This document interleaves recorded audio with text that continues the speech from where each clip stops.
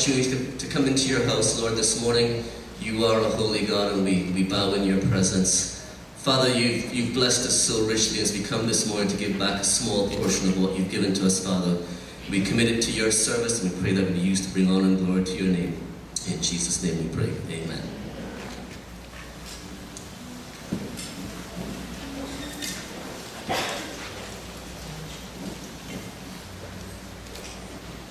Congregation, the Lord is good?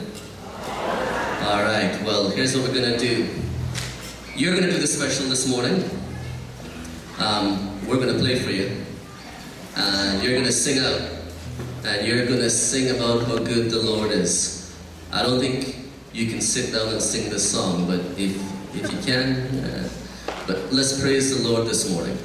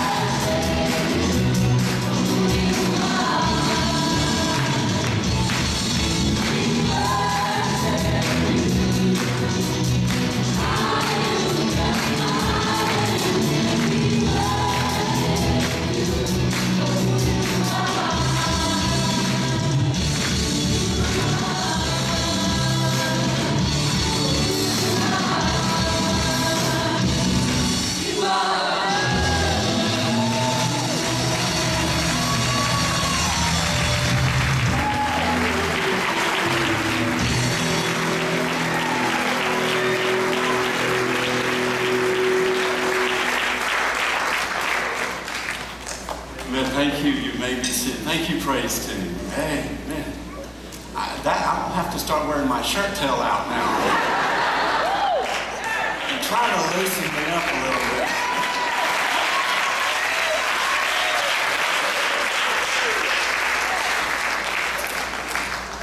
Well, as you know, many of you, most of you, all of you, this has been quite an extraordinary weekend. The Nicole Mullen concert and outreach has had a tremendous impact. We, we guess, we're not sure, the clickers kind of start on the inside building stop in here. We, we were full both nights here and people were turned back to the park. Uh, first night was probably over 1,200 present.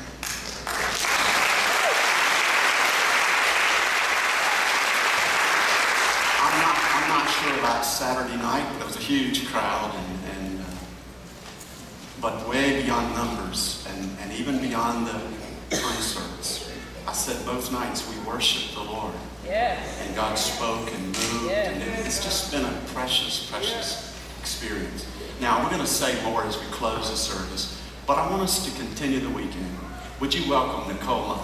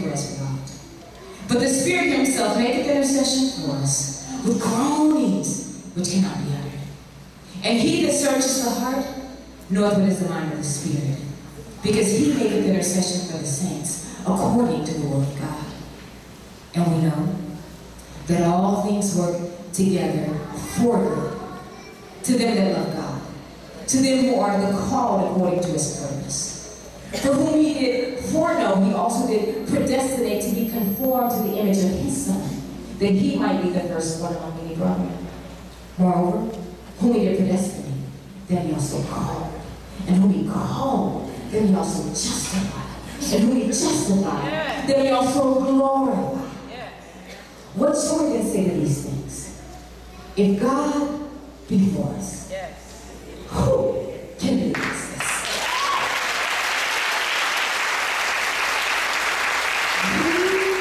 He that spared not his own son, but delivered him up for us all.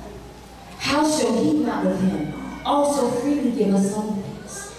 Who shall lay anything to the charge of God's elect? It is God that justified, and who is he that condemneth? It is Christ that died, yea rather that is risen again, who is even at the right hand of God, who also maketh intercession for us. Who shall separate us from the love of Christ?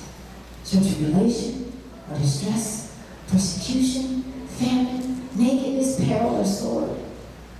As it is written, For thy sake we are killed all the day long, we are counted sheep for the slaughter. But nay, in all these things, we are more than conquerors through him that loved us. For I am persuaded that neither death, nor life, nor angels, nor principalities, nor powers, nor things present, nor things to come, nor height, nor depth, nor any other creature, nor any other creature, nor any other creature, nor any other creature shall be able to separate us from the love of God, which is in Christ Jesus, our Lord.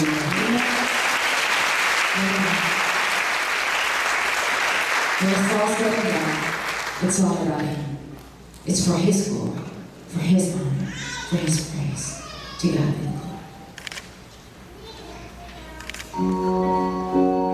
So how,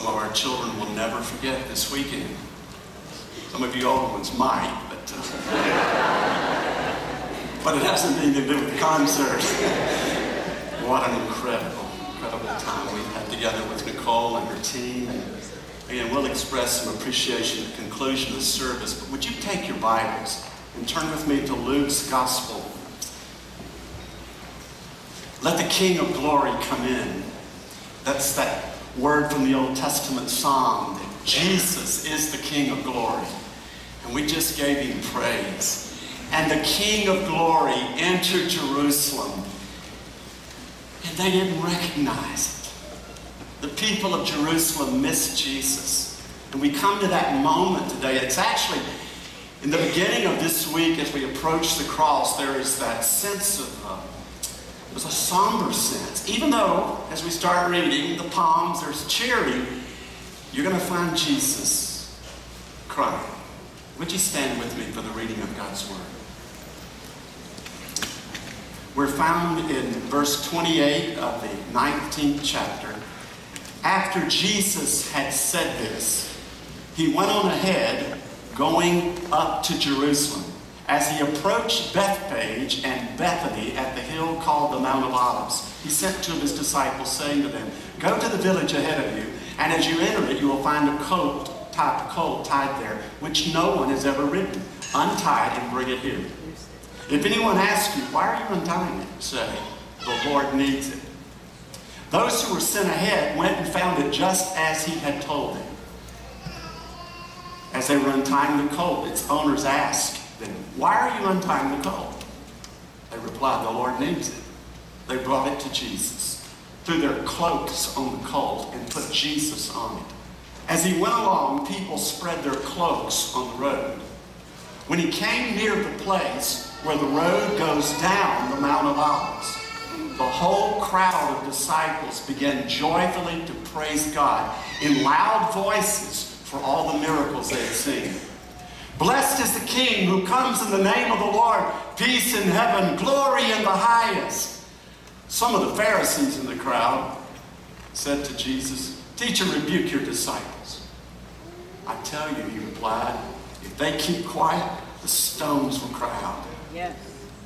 As he approached Jerusalem and saw the city, he wept over it and said, If you, even you, had only known on this day what would bring you peace.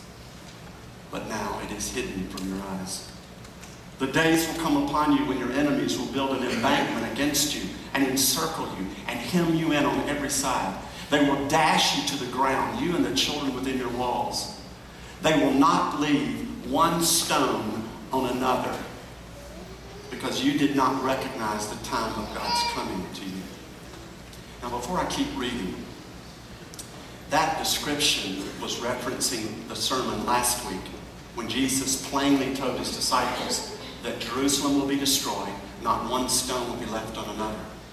Speaking of a near prophecy that was fulfilled in 70 AD under Titus, Tacitus, the Roman historian, this is not a Bible teacher telling you this, Tacitus said, along with Josephus, but Tacitus said, 110,000 Jewish bodies were taken out of one gate alone after the destruction of Jerusalem.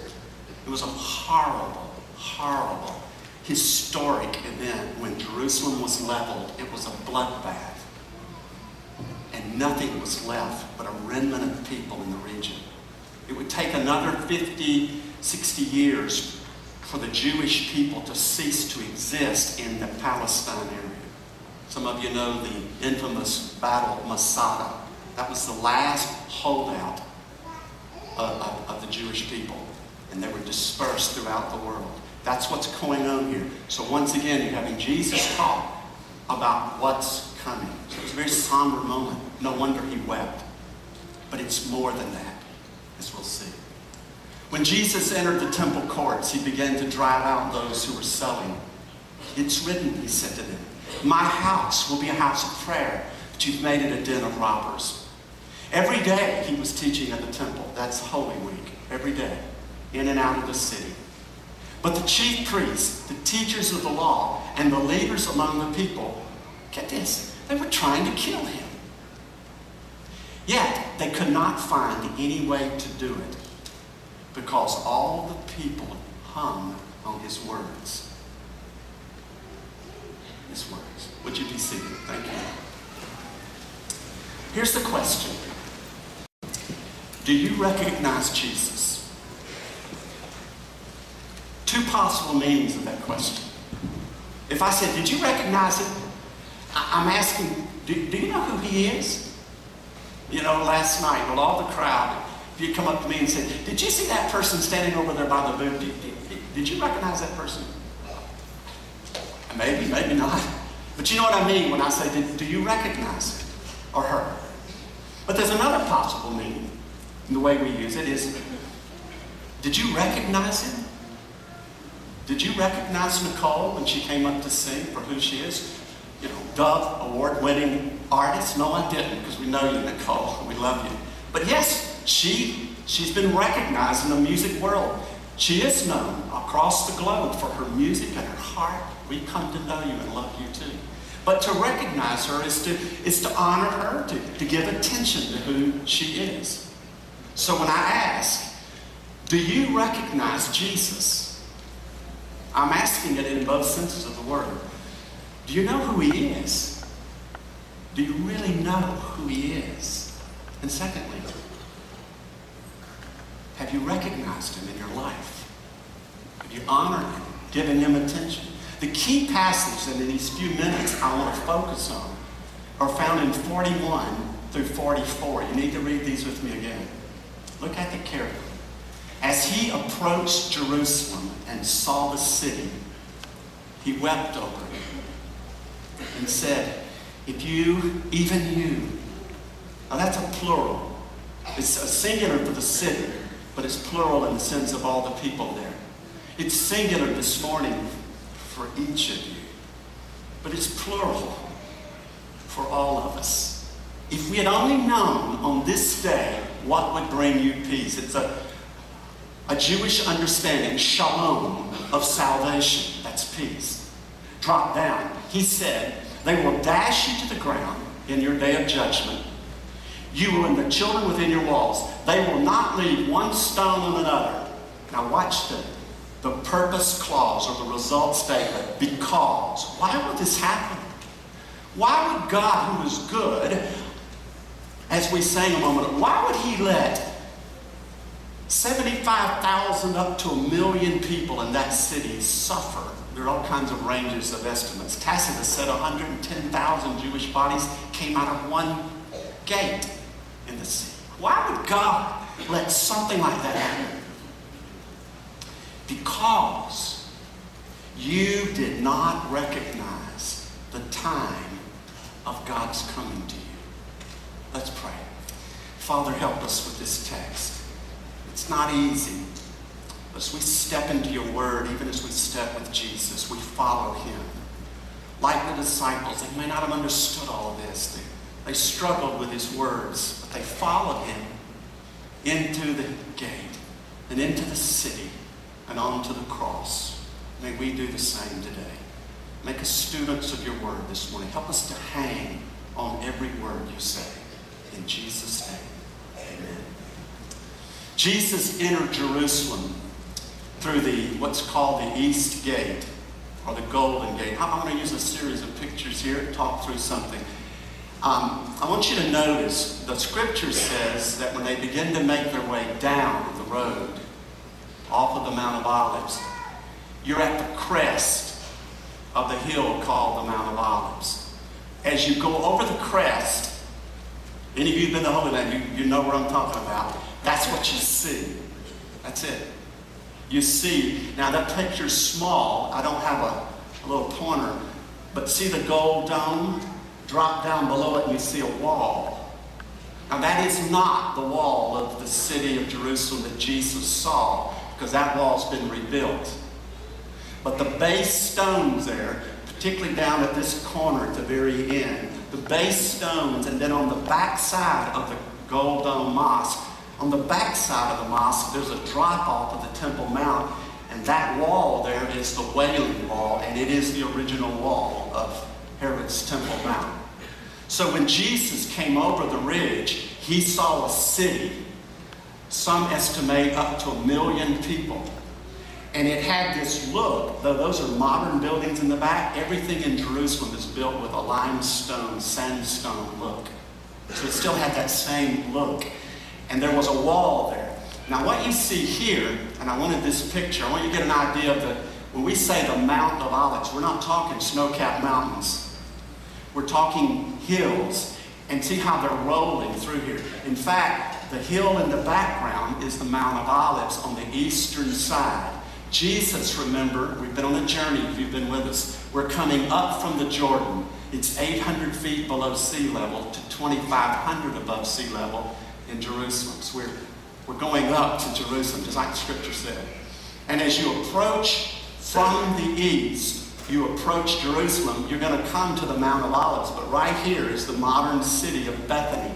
And Bethphage would be located just at the base of the Mount of Olives. So we're, we're going to climb up to the top of the Mount of Olives. And when we go over the peak, give me the slide of Jerusalem. You have the city of Jerusalem. Now, that's when the scripture says Jesus wept. But something else happened there. Back up into the text and notice uh, in verse 37. This is so important for us to catch the sense of the crowd. When he came near the place where the road goes down the Mount of Olives, again, they came up and they went over.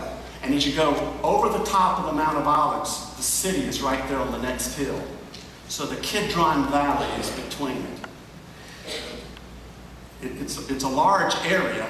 It, it takes a while to walk. But there it is. And as they went over that ridge, the scripture says, the whole crowd began joyfully to praise God in loud voices for all the miracles they had seen. Now, now, before that, as they're approaching the hill of Mount of Olives, they're throwing their coats on the ground. The other Gospels talk about palm branches. Oh, the followers, that's us. We've been with him. And now the crowd's gathering. All the followers, all those who've seen all these miracles. Oh, they, that's what it's about. He said, for the miracles they've seen. They didn't say anything about what they've heard. But the power of this man Jesus, surely he's the Messiah. And so as they as they approach the Mount of Olives, they're throwing their coats down and taking these coats off. I'm, I am warm, so I'm going to take it off. they, they, they throw it down there. And as they do that, it's honoring the Messiah. He's the king. It's just tradition there. They do that. And as they threw their coats down and they waved the palm branches, as they moved over the top and saw Jerusalem, this is it. This is a big moment. There's the capital city. That's why they started. Look what the Bible says. They, they begin to joyfully praise God in loud voices. Now they've gone from coats. Praise the Lord. Hosanna be praised. And the crowd now multiply that. Everybody pick a phrase. You got a phrase in mind? Hosanna. Praise the Lord. Amen. What's some more? Hallelujah. Okay, I'm going to count of three. I want you to yell out some phrase. I can tell this is not going to go well. Just try it anyway. One, two, three. Praise Now, what if that, you're pretty good. What if that just continued? And it is just human nature. It's just like us, getting ready to go into the stadium, the noise picks up. This is it. This is the moment we've waited for. What are you talking about, Pastor? They were followers of Jesus please, they, they have heard him and they watched him for three years. And they're his followers. And they're gathering, entering the city. They're picking up some folks who've been on the edge.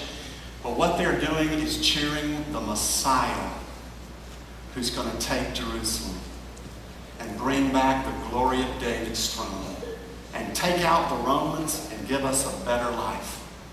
That's what the cheering is about. It's real. They're cheering. They really are followers. They just don't quite have it right yet. We hadn't got to the cross, remember. We've been on a journey to Jerusalem for a year and a half here in our church, almost a year and a half.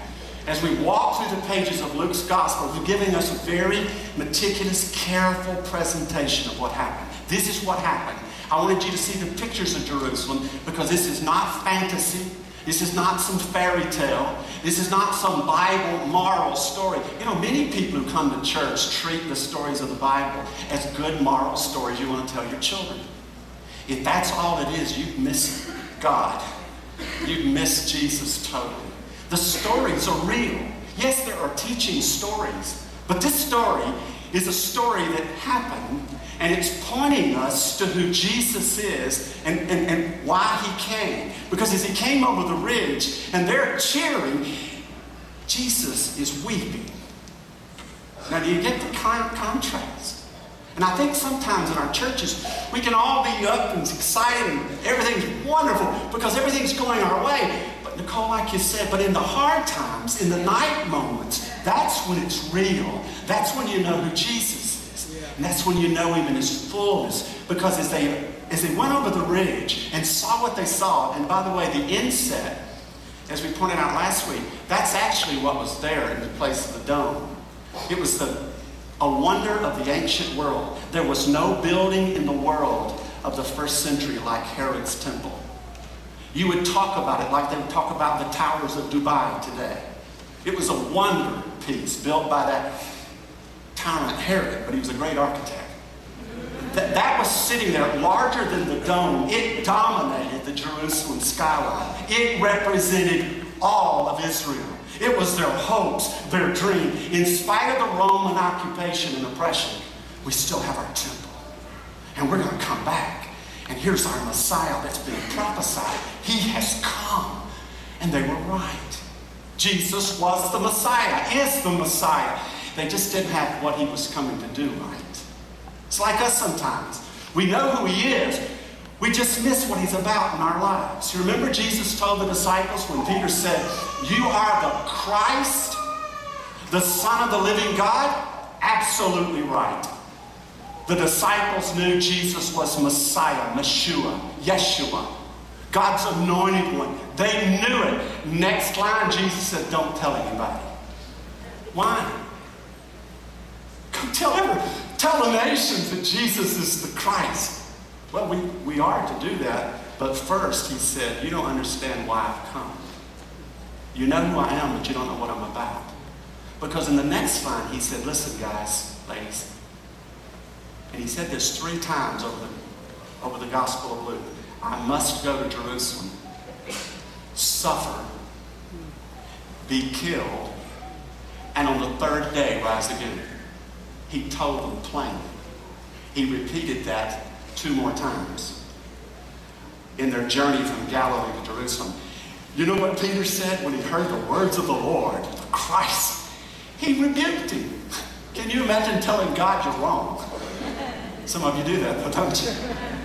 He said, No, Lord, that will not happen. It's a double negative in the Greek. It's in Matthew 16, clearly given there. At the Caesarea Philippi confession, Peter said, You're the Christ. Jesus said, That's great, Peter. God revealed that to you. But don't tell anybody. Because I have to go to Jerusalem, suffer, die, and be raised on the third day. And you don't understand that because you have in mind the things of men and not the things of God. And that's what's happening here. This crowd, they knew him to be the Christ. They were right to put the palm branches and throw their coats down. He is worthy of our worship. But why was he entering Jerusalem? It was to give his life for us. And Jerusalem didn't recognize him. The disciples recognized him, they just didn't understand yet what he was about. It's foreshadowing our time. The disciples of Jesus know who he is, and we know what he's about. He's about the cross and the salvation of all men and women, boys and girls. He has come to seek and to save those who are lost. The cross is central to his mission and he was raised from the dead. He's alive today. He's coming back to the Mount of Olives. He's going to enter that same gate that we'll see in a moment. Jesus is coming back. We get that. But the majority of the world, they're like Jerusalem. And remember, Jerusalem actually represents a religious establishment. Even religious people sometimes are so caught up in their rules and regulations and their rituals. They're more with the Pharisees than they are with the followers. Because the Pharisees said, Jesus told them to be quiet. Why do they say that? Because they were saying, You are God. Hosanna is meaning God save us. They had already heard Jesus claim to be God.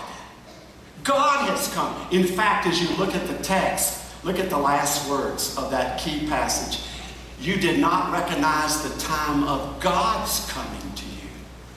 God had come in Christ to reconcile the world. And the Jewish leaders missed it. Jesus said, well, look, if they don't praise me, the rocks are going to cry out. The whole creation sings his praise. God is to be praised. And the religious leaders missed it. Why? And, and now I, I, want to bring it to the focus. What happened here? There's the line. They did not recognize the time of God's coming. Why the destruction of Jerusalem? was because of their sin and their rejection of God. In their sin, they said no to the Savior and they suffered the rejection. By the way, he said, Pastor, where is their sin? Well, he went into the temple. They had turned temple worship into a mockery. It was a for-profit uh, enterprise going on. The weak, the poor, the widows of the land, even as we pictured last night, the, the people caught in sin, they were so, so abused and mistreated by the religious establishment. It was a, it was a wicked time. And Jesus exposed it. He cleaned house that day as he prepared for the cross. Again, foreshadowing what the cross will do in our hearts. Because when Jesus comes into the gate of your heart, he's going to claim the temple. Yeah. He's going to make you holy for the one who is holy. So they didn't recognize him. What, what didn't they recognize? They didn't recognize who he was. They didn't recognize that Jesus is God, and they didn't recognize that he is the Christ. The followers did, not the masses. And there are some in this building right now. You've not recognized him. You don't know that Jesus is God come in the flesh to be the Savior of the world. He's not just some religious figure that you want to sing a nice song to. He is God among us. And He came to save His people from their sins. They didn't recognize that. And they would suffer judgment in the days ahead. They didn't, they didn't recognize what he said and what he did. Where were the people of Jerusalem? Had they not heard what he said and taught in the temples? In fact, if we kept going into chapter 20, they're going to question his authority. They're going to undermine his teaching. They were absolutely against what Jesus had to say. Have you picked that spirit up in our world today? Just mention the name of Jesus in your place of work or business and watch sometimes what the reactions are. Oh, you can give a, a good moral syllogism, little something you ought to do, but attach the name Jesus to it and say it's his word. People have rejected his word. They didn't recognize his words. They didn't recognize what he did. He raised the dead. He walked on the water. He, he calmed the sea. He fed the thousands. Jesus proved himself, demonstrated himself over and over to be the one true God who's come to save us from our sins. They didn't recognize him for who he was or what he said and did, and they didn't recognize why he came. He said, in that passage, he said they didn't recognize God's coming for you. That's why he wept, everyone. Don't think of God as this supreme being that's cold and just destroys people who are sinners. Jesus crested the mount when he saw Jerusalem, his heart broke. In fact, Matthew records that Jesus said, Oh, Jerusalem, Jerusalem, how often I would have gathered you as a hen gathers her chicks. But you would not. And here he says, You didn't recognize me. You wouldn't let me in. You wouldn't, you wouldn't bow your knee to who I am. You rejected me, is what he's saying. Why did Jesus come? He came for you and me. He came for us to save us from our sins. Matthew said, just as the Son of Man did not come to be served, but to serve and to give his life as a ransom for many. I want you to show the gate for me there. If we could put the gates up. This is actually the eastern gate today. Now, the top part's been rebuilt. Been rebuilt several times over the centuries. But down at the base, again, you have the base of the old Jewish wall. And that's where the eastern gate was. But in the 7th century, uh, excuse me, the 15th century, the Muslims who occupied Jerusalem knew the Jewish prophecy that Messiah would come through that gate. And the Jews are looking for Messiah to come, and he's going to go through that gate. So the Muslims of the day stoned it up so he couldn't come through to shut down the Jewish prophecy. In fact, let me have one more picture of it. Not only did they seal up the gates, at the base of the gates, they built a cemetery. Yeah, the Messiah is not going to walk through a cemetery. They don't know our Jesus. He raises the dead. He's going to go right through those gates. He's already been through the gates, everyone. He is Messiah. They missed it according to the prophet Ezekiel. But there's coming a day again, near and far. Jesus says he's coming. He's coming again. We, we read that last week in the lengthy, lengthy passages. But the Son of Man will come again. He will set his feet on the Mount of Olives, and he will bring in his eternal kingdom as King of Kings and Lord of Lords. I've had to rush through some notes, but you get it, don't you? It's salvation for those who recognize Him. It is judgment for those who don't. Jerusalem was destroyed in 70 AD, but it's been rebuilt. But even now, in the Middle East, the forces are moving, and behind that force, the evil forces are moving, surrounding Jerusalem according to prophecy, that Jerusalem will once again be hemmed in on every side. And once again, there will be an attack against the holy city. But this time, Jesus will return and will destroy the enemies of God. And there will be a recognition by Jerusalem and the Jewish people of the Messiah they have pierced. And they will give him praise. In fact, there won't be a problem at the return of Christ with recognition. The Bible says at that day, every knee will bow and every tongue will confess. Say it with me that Jesus Christ is Lord. Would you stand with me? Do you recognize him today? Do you recognize Jesus is God come to us to be our Savior? And have you recognized him in your life? Have you given him the worship that's due him? Have you invited him into the temple of your heart? Are you a follower of Jesus Christ? That's the message here. Jesus weeps for those who reject him. But the Bible gives us this principle God will not always strive with man. He'll speak, he calls, he woos, he shows himself strong and love and holy and caring. But there comes a point when you've rejected him when it's too late. That day is moving up on us as a world with the return of Christ. It'll be too late then for salvation. For those who know Christ, it will be the beginnings of eternity with him. Do you know Jesus? Father, in these moments, call us. Call us to be those who are in the crowd with Jesus, giving him praise and honor and understanding, Father, now, in view of the cross and the resurrection, understanding that you've called us to follow Jesus, to deny ourselves, to take up our crosses, and to follow him. Thank you, Lord, for what you're saying this morning. We trust you now for this public invitation. In Jesus' name, amen. As we sing, the altar is open for you to come. Some will come publicly today saying, I've trusted Christ on the weekend. And I want to follow the Lord. I, I want to follow him in baptism, believer's baptism. Some of you say, you know, Pastor, we've been at this church a while, but we sense this is where God wants us to be a part of the body of Christ. You come in obedience to him. Come a part of this church's family. Come share that with the pastor here. You come as we sing.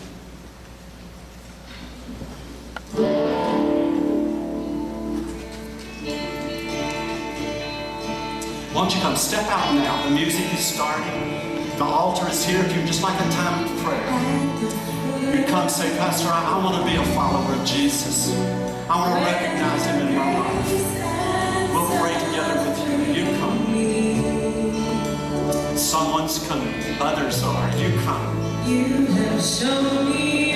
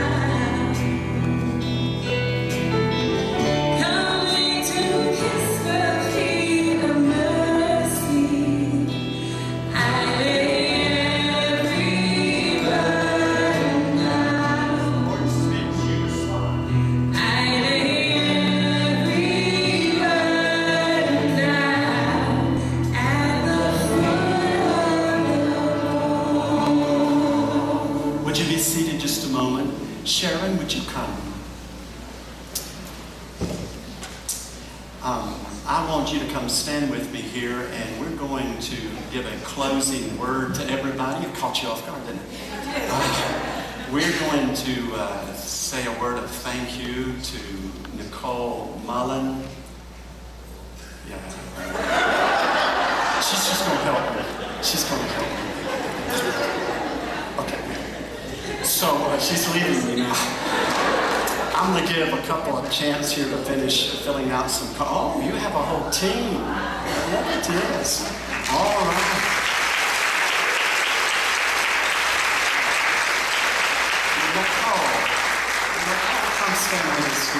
We want to express our appreciation for your ministry among us, uh, an expression of the whole church to say we love you and we thank you for being faithful to share God's love and the gospel with us this weekend. Blessings. All right. Everybody?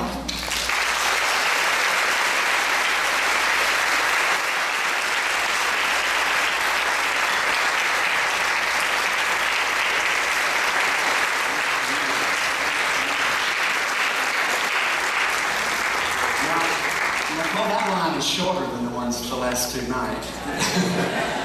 uh, Nicole stayed each evening, 11.15 one night, maybe midnight last night, signing autographs, taking pictures, but not just that, speaking with each person that came to her. And uh, that touched us that you would do that. And here, this represents that. That is special. Sharon, you have to stand up one more time. Right, we'll back this line up right here. Uh, I want you, a couple of girls, come this way, Sharon. Would you give her a hug? Let's make Sharon real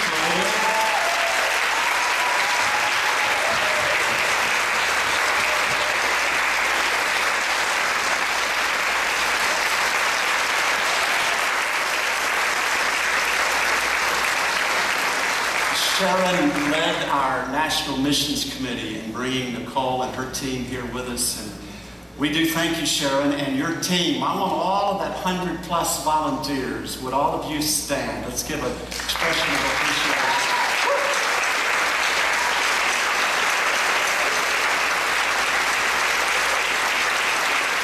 Remain standing. And then we have all of those who engaged in prayer support for this effort. Would you stand? That may be the most all of us. Would you stand? And then we have we have several vendors here who supported us, helped us, gave. If you're here, would you stand? Let's express appreciation.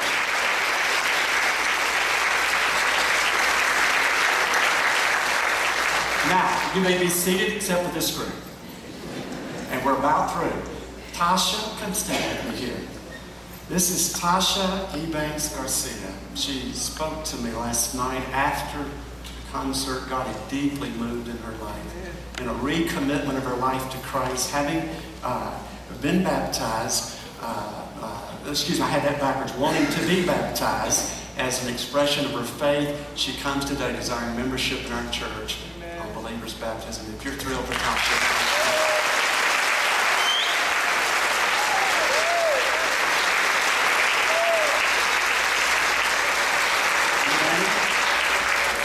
And Leanne Burrell came this morning, tears flowing in her heart and life, and she wants today to become a part of our church fellowship on her uh, of faith and baptism. She has uh, come to Christ already, but she comes today desiring to be part of our church family. Church membership, if you're thrilled, let her know.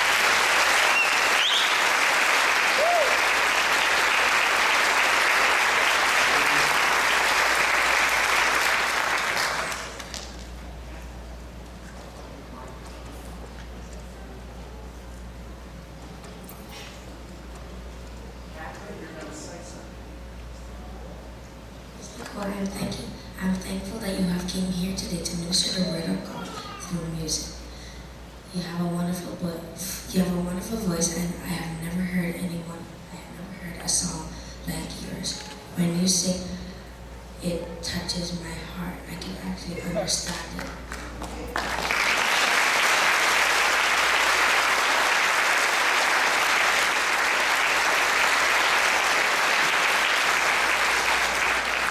And for singing on Friday and Saturday, I would love, I would like to give you this, this present for all. Miss Aubrey.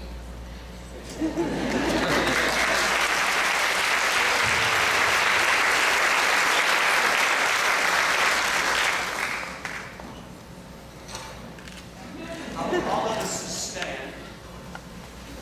Since you did, no, since you did so well a moment ago, we're going to close with this little object lesson.